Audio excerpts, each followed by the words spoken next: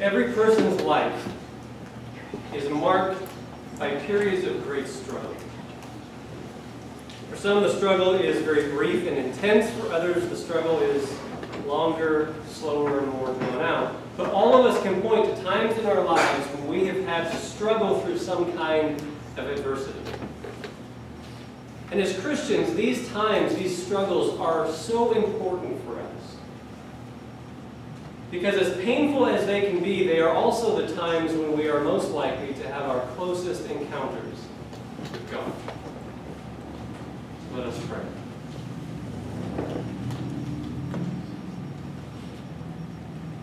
Lord God, as we wrestle with your word to us in Scripture once again today, we pray that you would indeed grab hold of us so that we may encounter you.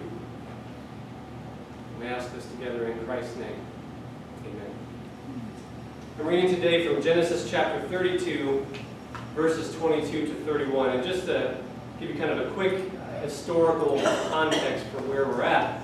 Um, about, we're a ways through Genesis at this point, and you'll remember the way Genesis goes. There's creation and then the fall. Up to chapter 3. And there's Noah, and then there's Abraham. God makes a promise to Abraham to make his descendants uh, a huge nation that would be a blessing to the rest of the world. Abraham's son is Isaac. Isaac's son is Jacob, who's the main character in our story today. And this is the story where Jacob is renamed Israel. His 12 sons become the leaders of the 12 tribes of the nation of Israel. So this is how the story goes. The same night, Jacob arose and took his two wives, his two female servants, and his eleven children, and crossed the ford of the Jabbok. Took them and sent them across the stream and everything else that he had. And Jacob was left alone. And a man wrestled with him until the breaking of the day. When the man saw that he did not prevail against Jacob, he touched his hip socket, and Jacob's hip was put out of joint as he wrestled with him. And then he said, Let me go, for the day is broken. But Jacob said, I will not let you go unless you bless me. He said to him, What is your name? He said, Jacob. And he said, Your name shall no longer be called Jacob, but Israel, for you have striven with God and with men and have prevailed. And then Jacob asked him, Please tell me your name. But he said, Why is it that you ask my name? And there he blessed him. So Jacob called the name of the place Peniel, saying, For I have seen God face to face, and yet my life has been delivered. Sun rose upon him as he passed Penuel, limping because of his hand. This is the word of the Lord. Jacob was a man who was obsessed with getting a blessing out of life. When he was born, he came out grabbing the heel of his slightly older twin brother Esau. And so his parents named him Jacob, which means to strive, or it can also be translated cheater. Not very flattering, I suppose, but that's what his parents named him. And from that point on, Jacob spent his entire life trying to cheat or swindle or steal a blessing out of everybody that he could. For Jacob, a blessing was anything that would give him an advantage over other people, a leg up on the competition. The first person from whom Jacob stole a blessing was his older brother Esau.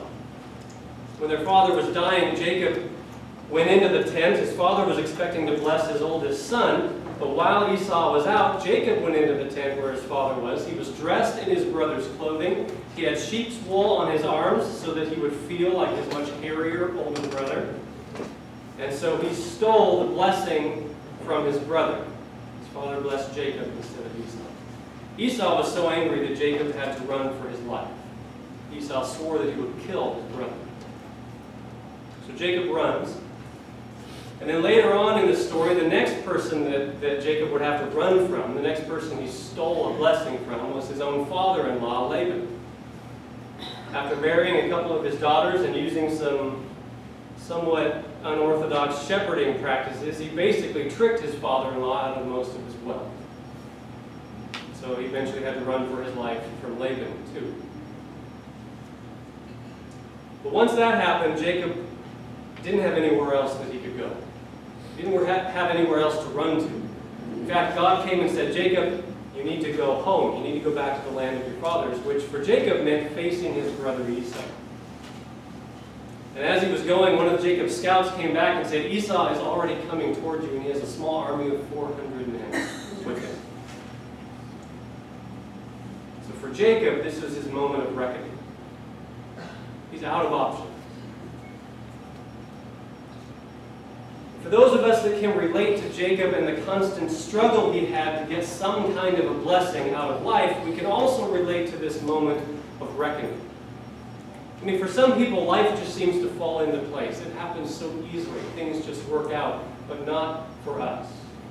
For whatever reason, life has been much more of a struggle for us, but after running from place to place, after trying plan after plan after plan and starting over more times than we can remember, we eventually, like Jacob, run out of options.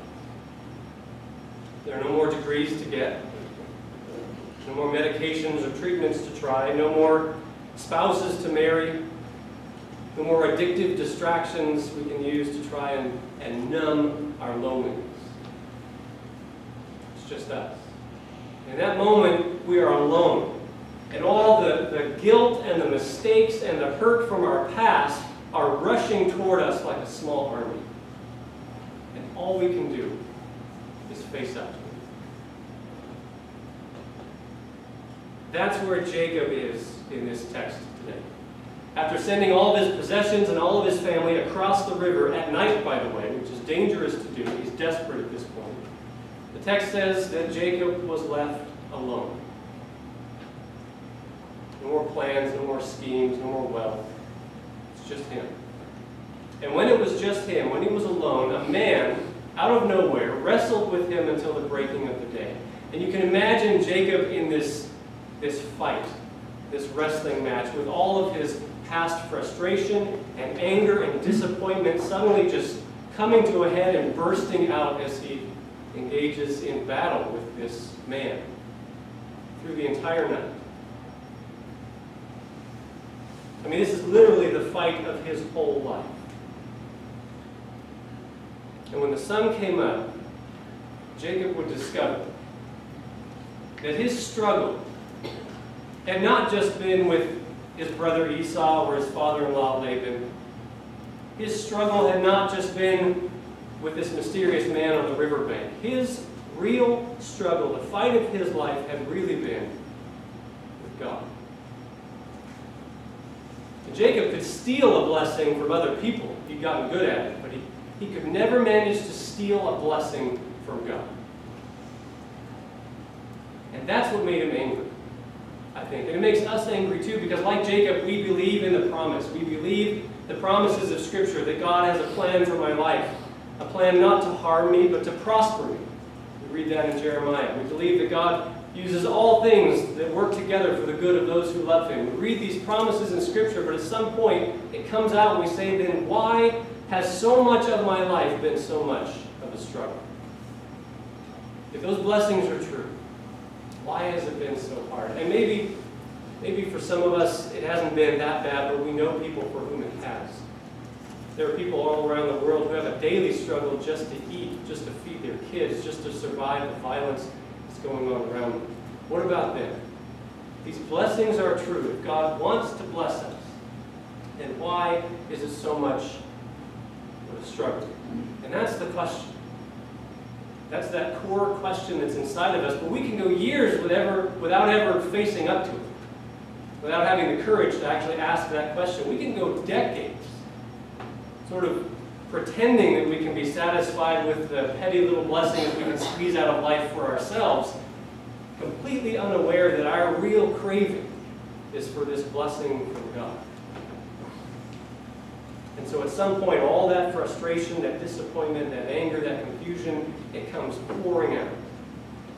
And it's in that moment that we realize that the core issue has really been about our struggle with God. I wonder if you have made that discovery. That your real struggle all along has been with God. That at the root of every other struggle you face, the struggle to get a paycheck, your struggle in, in work, your struggle in love, whatever other struggle you can face in your life, at the root of all of those is your struggle with God, to get a blessing from God. Because none of those other struggles, none of those other difficult situations in life will ever be fully resolved until you face that struggle with God, until you finally have it out with God. And we can't have it out with God until God can get us alone. It's only when we are alone with God that the wrestling match really begins. Austin Phelps wrote in his book entitled The Still Hour that no large growth in holiness was ever gained by one who did not take time to be often long alone with God.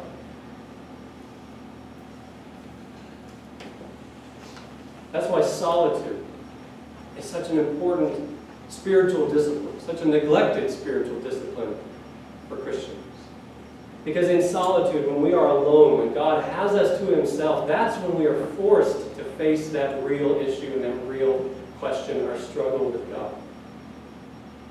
And that's also when God has the chance to finally show us what receiving a blessing is really all about. One of the most interesting parts of this story is the fact that Jacob was winning the fight. He thinks it's against a man, but it's really against God, and God did not prevail against Jacob. That's because this was not just a fight. This was not just a wrestling match. God was not competing with Jacob to see who was stronger, to see who would win in a fight. God wanted to grab hold of Jacob not to beat him, but to bless him. But notice what the blessing is. See, Jacob still thinks a blessing is something that gives him an advantage over other people. And so he does what he always did. He tries to steal a blessing from someone else. He clings to this guy and says, I will not let you go until you bless me. So the man asks, What is your name? Jacob replies, My name is Jacob, which is really just another way of saying, I'm a cheater. In response to that, the man says to Jacob, No. Your name is not Jacob. You are not a cheater. That is not who you are anymore. From now on, your name will be Israel because you have striven with God and with men and have prevailed. That's what Israel means. It means he who strives with God.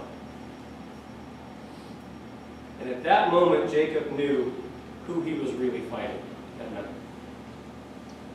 That's why he named the place Peniel, which means face of God. Because as he says, he had seen God face to face. And that is the blessing.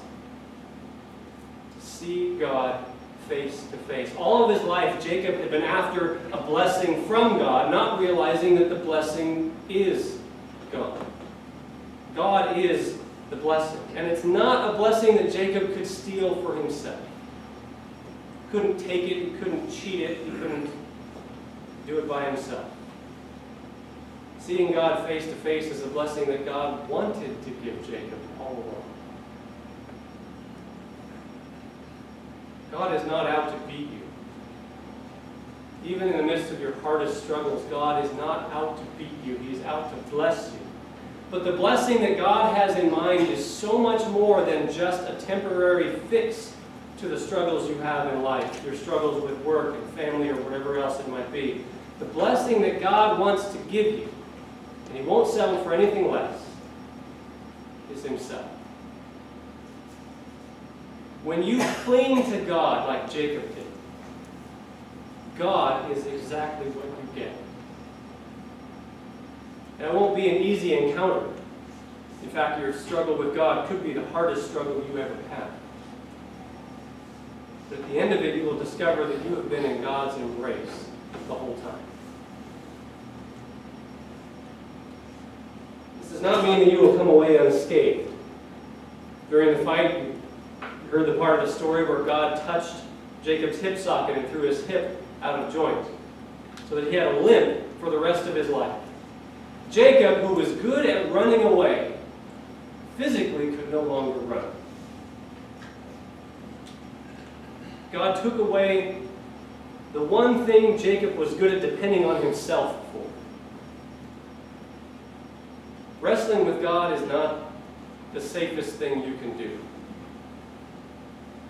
In fact, there's a high likelihood that you'll come out of that encounter having lost something with, with a limp that takes away something that you thought you could depend on for yourself, but that was really just keeping you from depending on God. There's a good chance God will take that away from you. But the limp is actually an act of mercy on God's part because it, it, it's what keeps us coming back to God, depending on God, whose strength is made perfect in our weakness.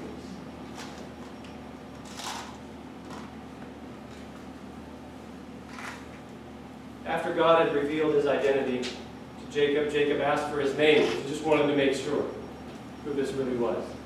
God replied, Why is it that you ask my name? Sometimes we look back over the struggles that we have faced or look at the struggle that we might be facing now, and we want to ask the same question. Who, who is this? God, are you in this fight with me?